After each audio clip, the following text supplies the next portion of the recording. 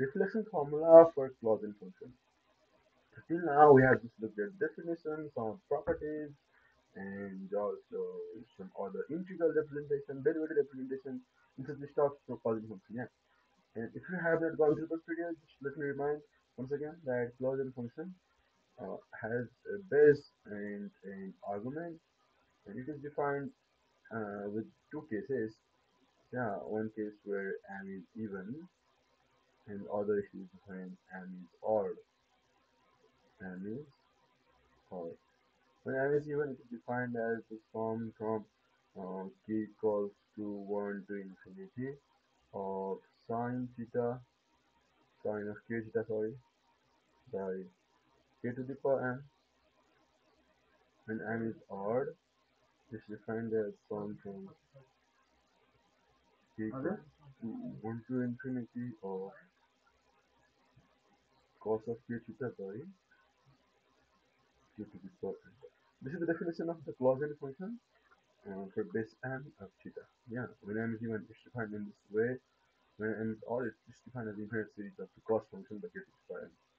Okay, now, so also to this negative 1 to the power m is because there are different uh, results for different values, uh, either m is odd or even. So uh, that that's what it, it's causing this formula to be slightly cliche one.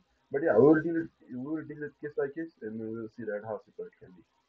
Now let us to make two columns for m even and for m odd.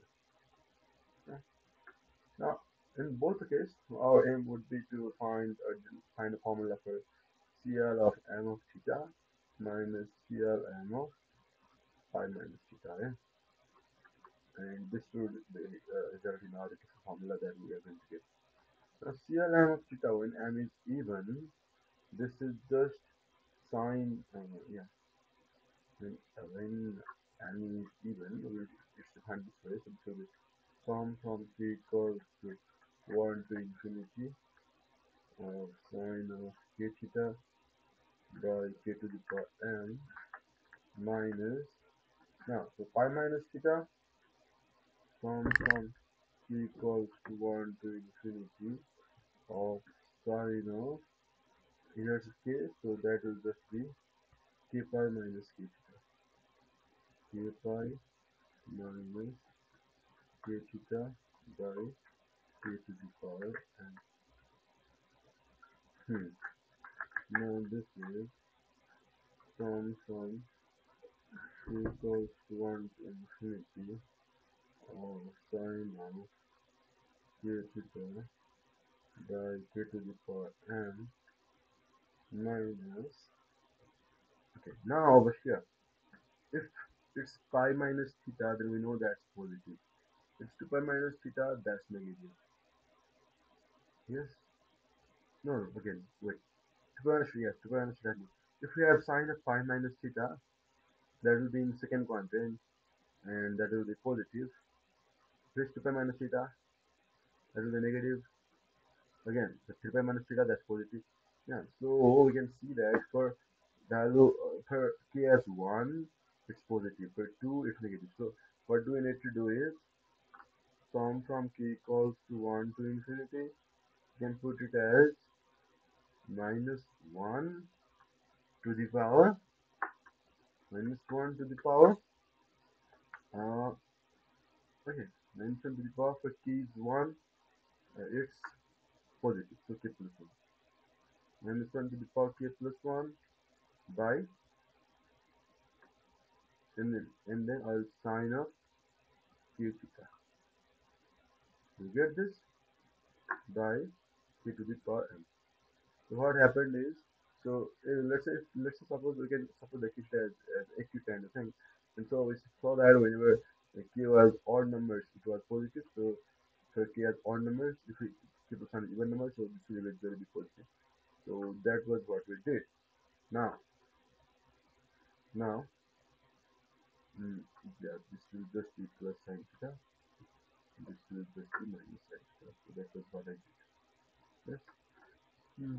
now next is we have over here sum from k equals to 1 to infinity sine of k theta by k to the power m. Now minus 1 to the power k plus 1 and minus sign that is again the minus 1 to the power k plus 2 but you can write it as minus 1 to the power k because k and k plus 2 have same parity. Yes? The sum from k equals 1 to infinity sine of k theta by k to the power n now you can see that both of them are actually same. Yes? Now for k equals to 1 if k equals to 1 this is the odd so they will cancel each other out. For k equals to 2 this is even they will just be added. So k equals to 3 again they will cancel each other out. So you can see that uh, only for even numbers.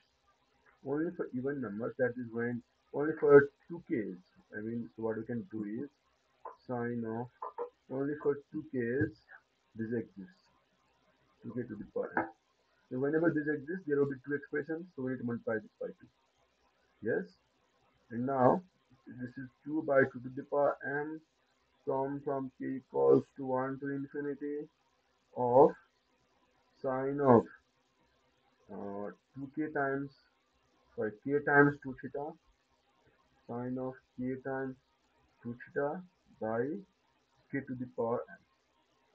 That's why we can say that this is 2 to the power 1 minus m and then Clausen function this m of 2 theta.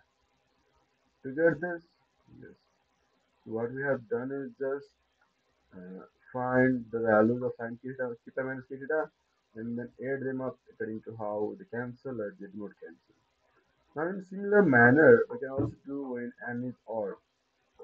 We can do this in a similar manner just that now we will have comp of from k equals to 1 to infinity of cos k theta by k to the power m minus sum from k equals to 1 to infinity of cos of k pi minus k theta by by k to the power m.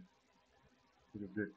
Now, if it cos, if it's k pi minus k theta, over there it's negative, but in the other one it's positive. So it, it's over here it's mentioned by k plus 1, but here over here it's just mentioned by the power k. It's slightly different. Please, please make note of that. Now k equals to 1 to infinity. Now this will be uh, cos of k theta by k to the power m. Yes. Now over here it will just mention the power k and including this minus sign this will be plus of minus 1 to the power k plus 1 yes. And sum from k equals to 1 to infinity cos of k theta by k to the power n now guys please notice that over here it be the conditions to, be just like how the previous one worked yeah. Just so that the even terms remain odd terms cancel out. Okay, we can notice that for oh, oh, o- o- m being odd. We actually need a plus sign over here. Because if only if there's plus sign the minus 1 to the power k plus 1 so minus 1 to the power k that comes from this expression will be retained. So yeah we make a plus sign over there. It's slightly different the formulas different formulas are different for even and odd because only this is plus now the mentioned the power k that comes from the cosine expression will be as it is. If it's here minus sign over here, we will have plus plus one over here, and that will create a problem. Now if we have this, now if we have this, now there won't be any problem. We will have cos of k equals to 1 to infinity. Similarly, now the odd cancels out, even terms will be there. Cos of 2k theta by 2k to the power m overall it will be multiplied by 2. Now it's somehow similar. 2 by 2 to the power m sum from k equals to 1 to infinity cos of k times 2 theta by k to the power m. Now this is 2 to the power 1 minus m and this one over here. This is just uh, CL m of 2 theta because over here it's m is odd so this is the definition for CLM function over here because m is even so this is the definition now we are getting the same expression but just please notice that a reflection formula involving m as odd has plus n over here it has minus n over here. Yes? So to make sure that these hold true our formula formula will go like this general formula first of all we will have CLM of theta yes? And uh, we know for m being even we need a minus n over here. For m being odd we need a plus n over here. So to make sure of that we can add minus 1 to the power m plus 1 because only if there's m plus 1 for even m plus 1 will be odd and minus 1 will be retained. For odd this will be for odd this will be even and this will be percent and over here CLM of pi minus theta now this expression we see that in both the cases is just to the power 1 minus m times CLM of 2 theta. Do you get that? Now after this uh, it's written in a slightly different way because uh, it's just mentioned by m over here. So what is actually done is we have broken down the mentioned by m plus 1 into minus 1 and mentioned by m. So this can be done as minus minus 1 to the power m of CLM pi minus theta this will be 2 to the power 1 minus m to the power m minus m of CLM of 2 theta.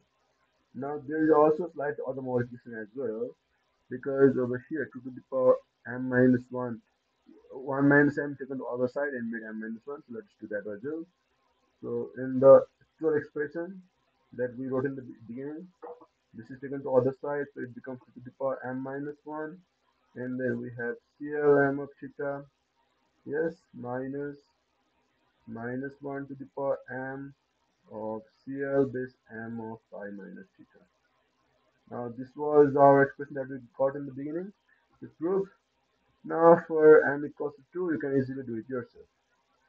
The substitute m as 2 CL2 of theta will be 2 to the power 2 minus 1 that's just 2 and then CLM of theta and this is 1 minus CL okay uh, also place 2 over here.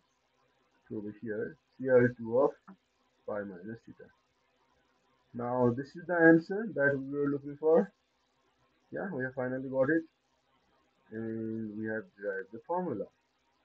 Okay now now I just I just realized that over here I, I actually I still have to put 2 over here. So this will change to the 2 this will change to CL2 of theta this will change to CL2 of theta. Excuse me for those uh, errors large errors but yeah this is it. Now just recap we use the definitions and try to find out CLM theta minus CLM of pi, pi minus theta.